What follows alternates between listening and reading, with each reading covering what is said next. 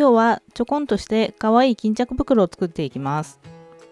肩紐タイプの巾着袋でストッパーがついています。こんな感じでお菓子を入れて持ち歩いたり小物を入れてお使いいただけます。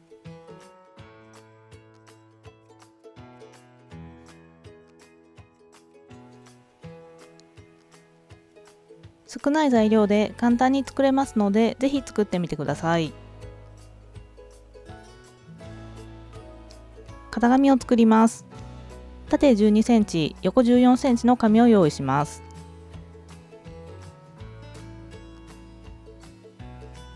角から5センチのところが線で結んであります。そこにコンパスで丸く線を引いてあります。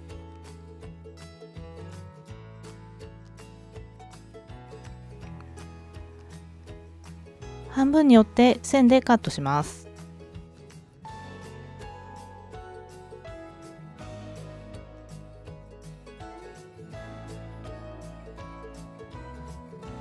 これが縫い代込みの型紙になります。この型紙で表布2枚裏布2枚裁断します。用意する材料はこちらになります。型紙に合わせてカットした表布と裏布を各2枚ずつ。縦4センチ横14センチの口布を2枚。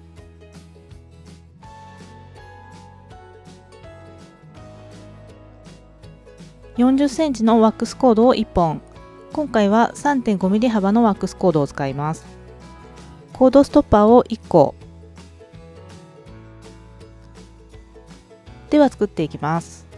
口布のサイドを裏に 1.5cm 折ります。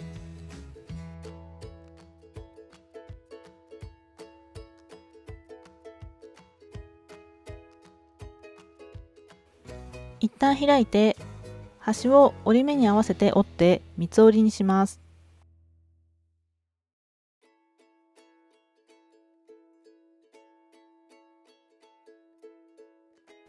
アイロンを当てておきます。こんな感じで三つ折りにしてあります。反対側も同じように折ります。1.5センチ折って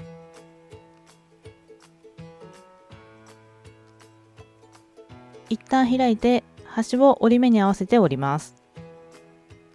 三つ折りにします。アイロンを当てておきます。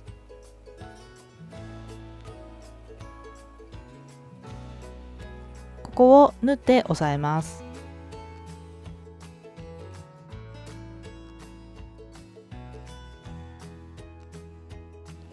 布がミシンに埋もれてしまったので薄い紙を下に敷いて縫っています。縫ったら紙はそーっと剥がせばいいのでもし布が埋もれてしまう場合は試してみてください。こんな感じで縫ってあります。もう一枚の口布も同じように縫ってあります。口布を外表に半分に折ります。アイロンを当てます。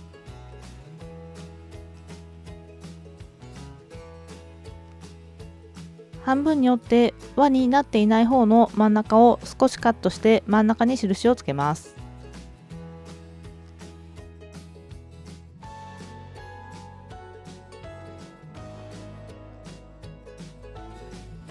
布も半分に折って同じように真ん中に印をつけます。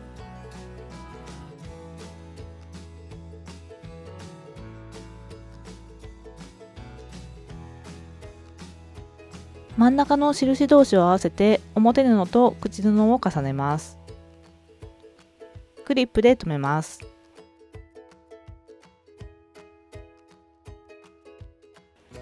縫い代 5mm くらいで仮留めをします。こんな感じで仮止めしてあります。同じものを2セット作ります。裏布を中表に重ねます。クリップで留めます。縫い代1センチで上を縫います。もう一個の方も同じように縫います。上が縫ってあります。開いてアイロンを当てます。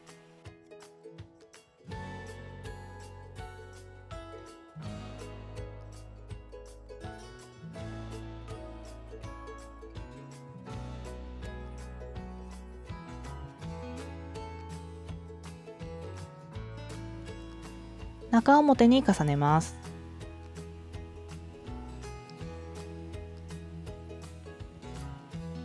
裏布のこの辺りに5センチくらいの幅の返し口の印をつけます。布の分かれ目をぴったりと重ねてクリップで留めます。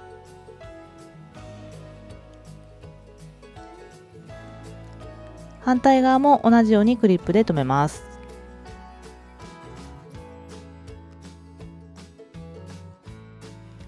周りもクリップで留めます。返し口を開けて縫い代 1cm で1周縫います。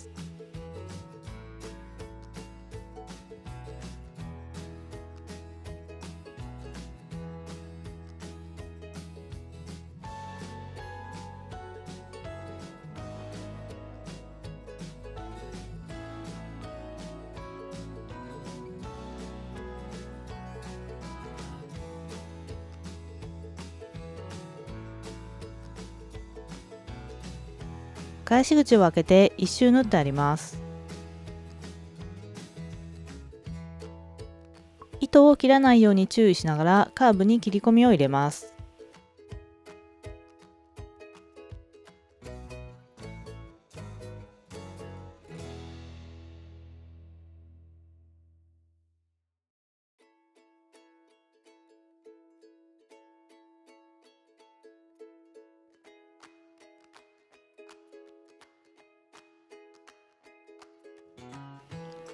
こんな感じでカーブに切り込みが入れてあります。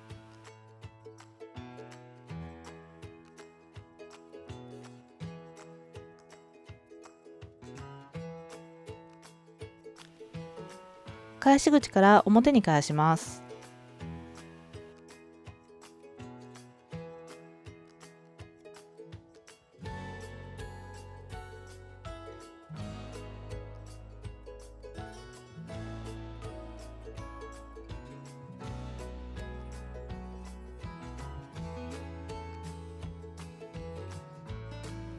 カーブもきれいに出してアイロンで形を整えます。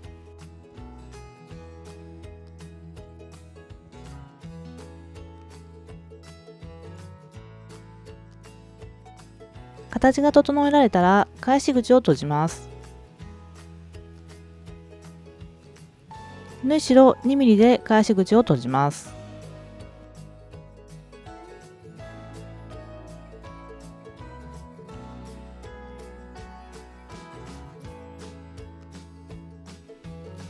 返し口が閉じてあります。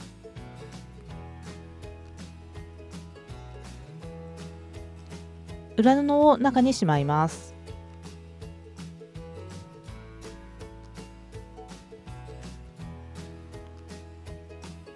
アイロンで入れ口の形を整えます。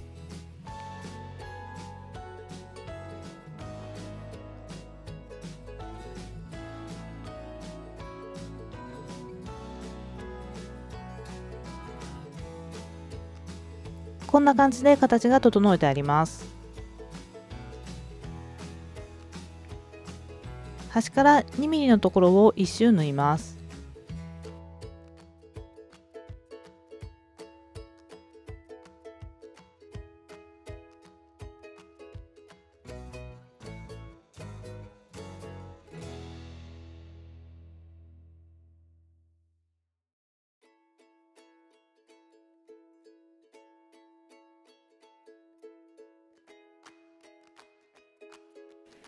一周縫ってあります。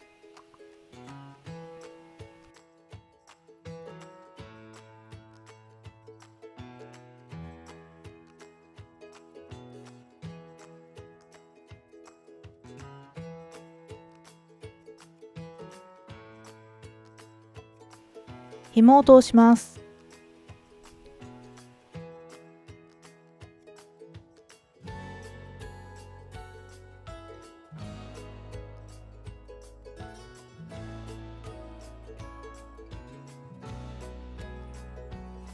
紐が通せたらコードストッパーを通します。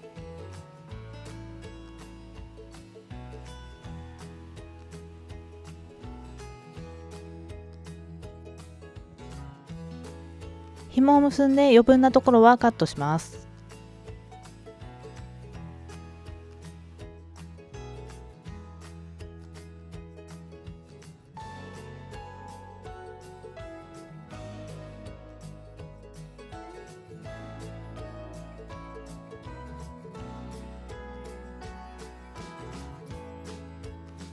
これで完成になります。